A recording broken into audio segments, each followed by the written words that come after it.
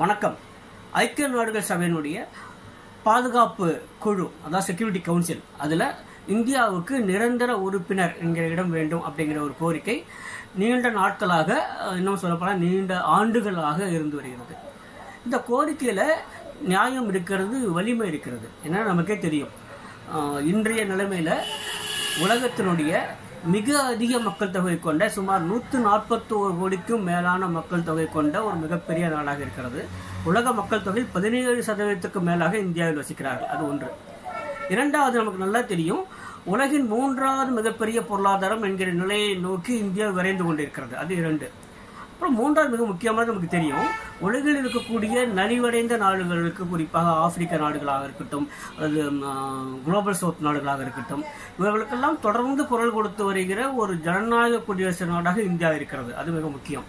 அது மட்டுமே இல்லை பல்வேறு உலக அமைப்புகள் சமீபத்தில் நமக்கு தெரியும் ஜி டுவெண்ட்டி அமைப்பினுடைய தலைமை பொறுப்பை நாம் வகித்திருந்தோம். பல்வேறு உலக அமைப்புகளில் இந்தியாவுடைய பங்களிப்பு அபாரமாக இருந்து வந்திருக்கிறது இது மிக முக்கியம்.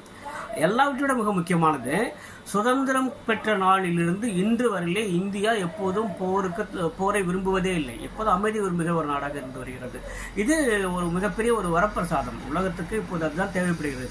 அப்போ எல்லாருக்கும் நண்பனாக எல்லாருக்கும் எல்லாவற்றுக்கும் நடுவில் இருந்து கொண்டு நியாயத்தின் பக்கம் மட்டுமே குரல் கொடுத்து வருகிற குரல் கொடுக்க இயலாத சிறிய நாடுகளின் குரலாக இருந்து வருகிற இந்தியாவுக்கு ஐக்கிய நாடுகள் சபையில் நிரந்தர உறுப்பினர் பதவி என்கிற அந்த அந்தஸ்து அந்த தகுதி அந்த இடம் தரப்படுவது என்பதுதான் மனித குலத்துக்கு இழைக்கப்படுகிற மிகச்சரியான நீதியாகவும் நியாயமாகவும் இருக்கும்.